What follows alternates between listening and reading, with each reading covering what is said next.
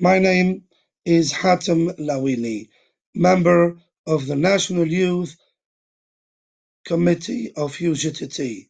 On the May Day, I would like to express my solidarity with all the workers in the world, with all the trade union activists who are struggling for a better world and who are struggling against the greed of capitalism and the greed of multinationals.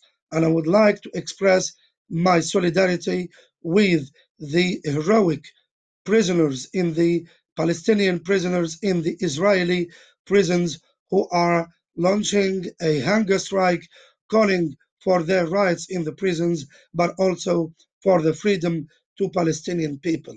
On the May Day, I would like to send my warmest greetings to the workers of Canada, of USA, of Colombia, of Iran, those who are struggling for a better world, and especially to the workers who are imprisoned in Iran, in Colombia, and in too many countries where trade unionism is still incriminated and where trade union activists are either imprisoned or killed.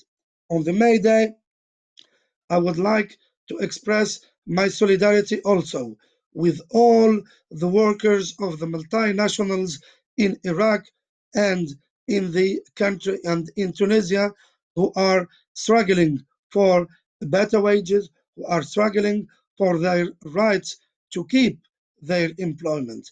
In Tataouine, the workers are launching strikes supported with the civil society and trade unions in their struggles with the unemployed.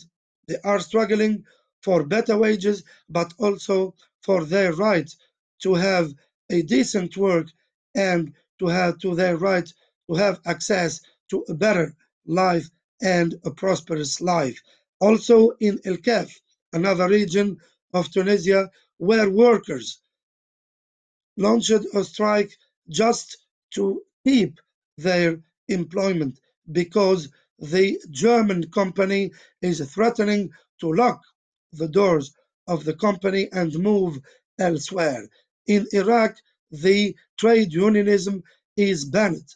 The workers of the public of the public sector are banned from their right to organize. That's why I would like to show all my solidarity with them. And I would like also to express my solidarity with the Iranian workers who are imprisoned and with Indian trade unionists who are organizing themselves and who are asking for freedom and for a better world.